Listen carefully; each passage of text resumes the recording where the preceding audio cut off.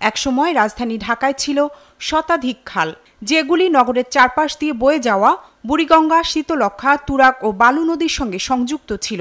অধিকাংশ খালই এখন বিলীন, বাকিগুলোর অস্তিত্বও এখন সংকটে। কোনো কোনো খাল আবার আবর্জনায় ভর্তি। এসব খালের দায়িত্ব এতদিন ছিল ওয়াসার হাতে। আজ যা হস্তান্তর করা হলো সিটি কর্পোরেশনের কাছে।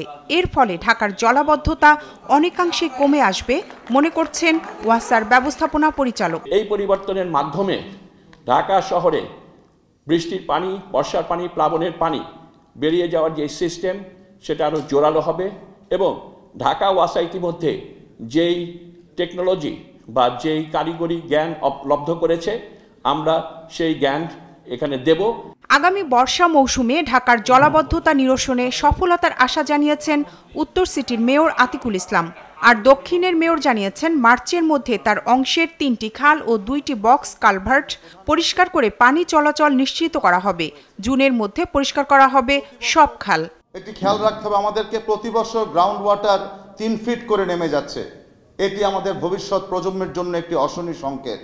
তাই এটিকে মাথায় রেখেই আমাদের খালগুলাকে কীভাবে আমরা ক্যাপাসিটি বাড়াতে পারি, সেইভাবে দৃষ্টি আকর্ষণ করতে হবে। আমরা যদি প্রত্যেকটা খাল জলাশয় সংযোগ করতে পারি, তাহলে আমি মনে করি যে ভেনিসের থেকে কম হবে না ঢাকা শহর। দ্রুত গতিতে বদ্ধ হয়ে যাচ্ছে আগ্রাসনের কারণে, ভূমিদস্যুদের কারণে। আমরা সেই জায়গাটায় যদি রোধ করতে পারি, তাহলে ইনশাল্লাহ সেটাও ইনশাল্লাহ সম্ভব। সেই ইতিহাসটাও হয়তোবা আমরা দেখে যেতে পারব। খাল নোংরা না করতে নগরবাসীর প্রতি আহ্বান জানান স্থানীয় সরকার মন্ত্রী। আপনাদের সবাই সার্বিক সহযোগিতা চাই এবং আপনাদের মেয়র সাহেবরা সহ সবাই মিলে আপনাদের সহযোগিতা পেলে আমরা সবাই মিলে আমাদের প্রিয় নেত্রী মাননীয় প্রধানমন্ত্রী শেখ হাসিনার নেতৃত্বে বঙ্গবন্ধুর স্বপ্ন পূরণ করতে পারব।